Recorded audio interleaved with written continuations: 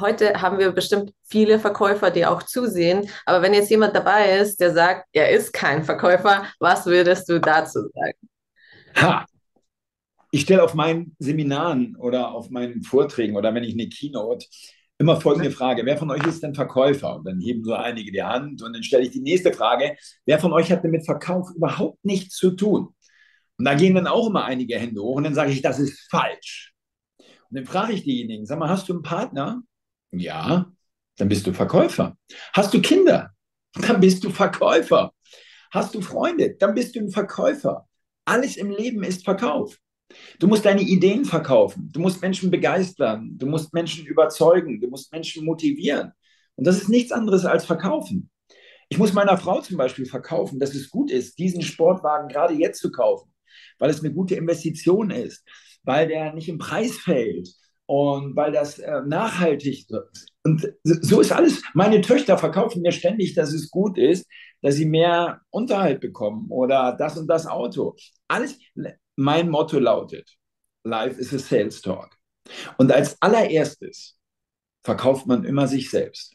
Als Person, als Mensch, mit seiner Ausstrahlung, mit seiner Energie. Also Life is a Sales Talk. Auch wenn Leute, Leute sagen immer, nee, ich bin kein Verkäufer. Warum sagen sie das? Weil Verkaufen leider ein negatives Image hat. Wenn du abends auf einer Party jemandem erzählst, dass du Verkäufer bist, hast du wahrscheinlich einen sehr einsamen Abend vor dir. Weil die Leute dann so, oh, der will mir was verkaufen, der will mir was über. Nee, das ist nicht verkaufen. Weißt du, viele Menschen denken immer, verkaufen heißt jemandem was anzudrehen, was er nicht haben will und was er nicht braucht. Genau das Gegenteil ist der Fall.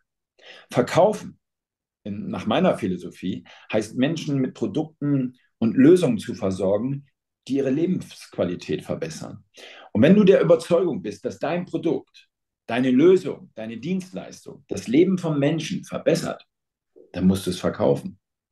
Wenn ein Kunde zu dir sagt, ich will mich informieren, dann will er kaufen.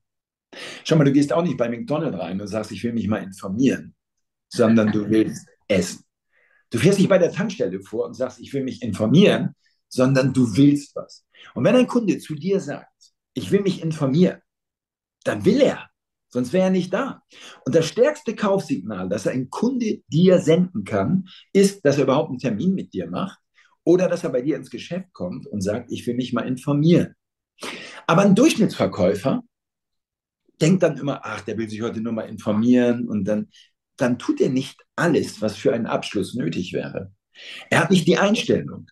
Du hast schon angesprochen, du ähm, trainierst jetzt Tausende, Zehntausende Tausende von Leuten gleichzeitig ja. in einem Raum regelmäßig.